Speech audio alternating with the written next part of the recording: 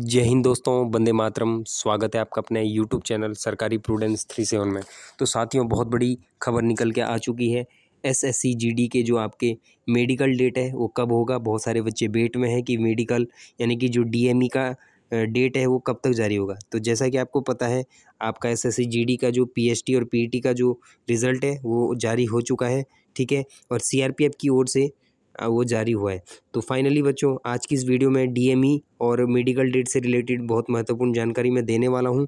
तो सभी कैंडिडेट ठीक है चैनल को भी लाइक कर लें शेयर कर लें, ठीक है, और सेशन को सब्सक्राइब कर लें, ठीक है। तो सबसे पहले हम बात करने वाले हैं कि सीआरपीएफ देखिए, इस बार जो आपका एडमिट कार्ड एडमिट कार्ड जो जारी करेगा, वो आपका कौन करने वाला है यहाँ पर? सीआरपीएफ की ओर से आपका जो प्रवेश पत्र है, वो घोषित हो हो जाएगा, ठीक है?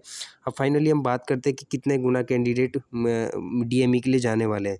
तो जैसा कि आप सभी लोगों को पता है, ठीक है, कि डीएमई के लिए कितने कैंडिडेट जाने वाले हैं, जैसा कि पच्चीस हज़ार तो ठीक है पोस्ट के अकॉर्डिंग देखें, लेकिन थ्री टाइम्स कैंडिडेट यानी कि समथिंग साढ़े पिछहत्तर हज़ार के समथिंग ठीक है डीएमई e के लिए बच्चों को लिया जाएगा।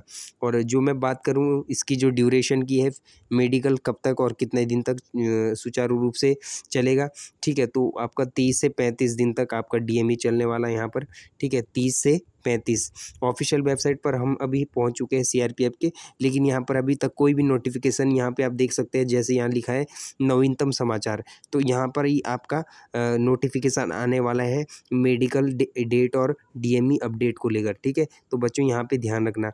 एस एस वाले एसएससी की वेबसाइट पर कुछ नहीं मिलने वाला है अब आपको, ठीक है? सीआरपीएफ की ऑफिशियल वेबसाइट पर आपको, ठीक है? एस एस का जो डीएमई है डीएमई डेट तो सारी जानकारी यहाँ पे आपको मिलने वाली है। तो ठीक है तो कंटिन्यू अपडेट रहा करें। और जैसा कि आपको पता है कि 26 अगस्त से इसके मेडिकल भी स्टार्ट हो जाएँगे आपके 26 अगस्त से।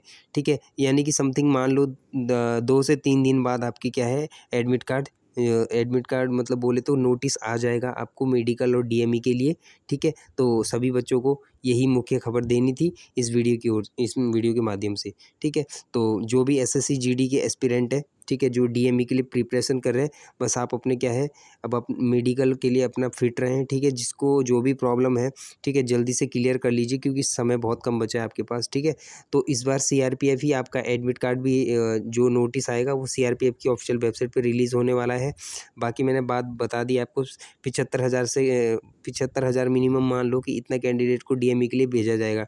बाकी जो भी डीएमई में रिजेक्ट होता है या एक्सेप्ट होता है, ठीक है, उसके हिसाब से फिर बाद में कट ऑफ़ रेडी किया जाएगा। वीडियो में बस इतना ही दोस्तों, ठीक है? बाकी जैसे कुछ भी अपडेट आता है तो हम आपको बता देंगे, ठीक है? चैनल को कर लेना सब्सक्राइब। ग्रुप में जुड़ना चाहते हैं तो डिस्क्रिप्शन में लिंक दे दूँगा मैं, ठीक है? वीडियो के डिस्क्रिप्शन में लिंक दे दूँगा, ठीक है? व्हाट्सएप ग्रुप पर आप ज्वाइन हो सकते हैं। तो जय हिंद दोस्तों, वीडियो देखने के लिए बहुत बहुत धन्यवाद।